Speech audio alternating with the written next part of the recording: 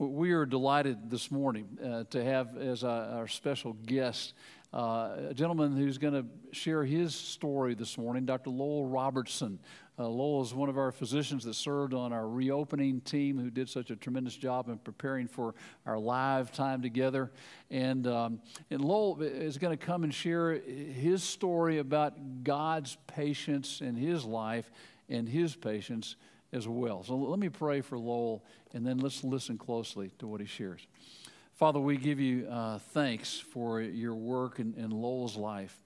Lord, bless him. We pray as he shares this morning. Give him freedom as he shares. I pray that you would fill him with your spirit. And Lord, that you would open all of our hearts and our ears to hear what it is that you want to say to us personally through the words that he shares. We ask this in Jesus' name. Amen. Thank you, Pastor. Good morning. My name is Lowell, and I'm an internal medicine, addiction medicine doctor at Oklahoma State University, and I work in the National Center for Wellness and Recovery. When I think of patience, I think about it in two different ways patience that God has shown me, and patience that God is instilling into my character. His patience has been shown to me all of my life. I was 14 years old when I asked Christ into my heart. When I went away to college at Oklahoma State, I felt on fire for the Lord, but I was very pious. I got judgmental and expected everyone else I ran around with to be just as sold out to Christ as I was.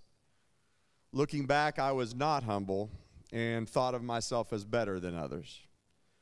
I got married in 1984 and started medical school at the University of Oklahoma in 1985. I knew from an early age that I was going to be a doctor.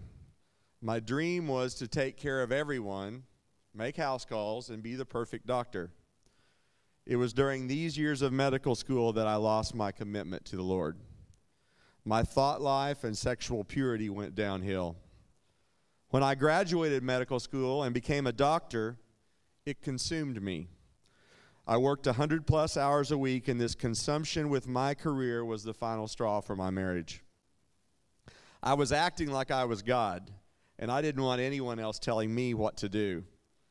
I had also been turning to alcohol over the years, and in 1998, I got caught with alcohol in my system while practicing medicine. The medical board was notified. Their recommendation was for me to be evaluated but I had no desire to be sober. I walked away from the practice of medicine because of my pride. Even though I had given up on me, God had not. He is so rich in mercy and is patient with his children. He had bigger plans for me than I was capable of seeing at the time. After my fourth DUI in 2016 and being thrown back in jail, I finally hit rock bottom.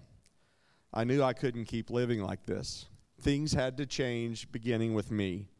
I cried out to God, and He was still there, patiently waiting, probably shaking his head, saying, It's about time, son. I don't know. What I did know, though, was about Celebrate Recovery. It was clear to me that I was supposed to get involved. I got baptized, declaring that Jesus was not just Savior of my life, but Lord of every area of my life. My biggest struggle early on in my redemption to Christ was with patience. I was on fire again, but not tempered. I started saying yes to everything the church asked of me. It was all really good stuff, but I got overwhelmed. I would charge into battle. I might ask God beforehand, but I didn't always wait for Him to answer. God says, Be still and know that He is God. That is hard for me, but I found the value of resting and waiting patiently for Him to direct my steps. In 2018, God started directing me back into the practice of medicine. I didn't think there was a path back because of my past.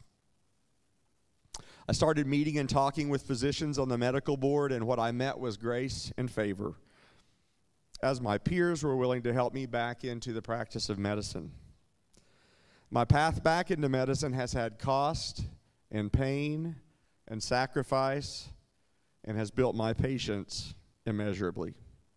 The end resulted in getting my medical license back with some restrictions. Today, I only have five days left, and those restrictions can be lifted.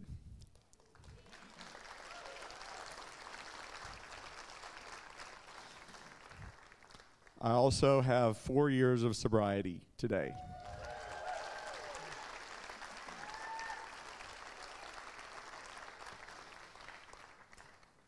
God has given me a new purpose in life, and that is to help His children suffering with addictions to find hope and restoration and be delivered from the chains that bind them.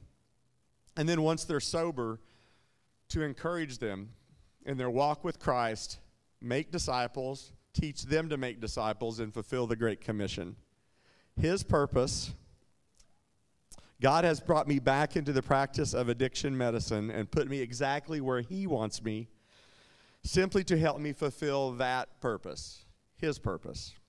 So I stand before you today as someone so thankful for God's patience, and I will continue to, to patiently wait for His Spirit to continue to work in and through me. All glory be to God.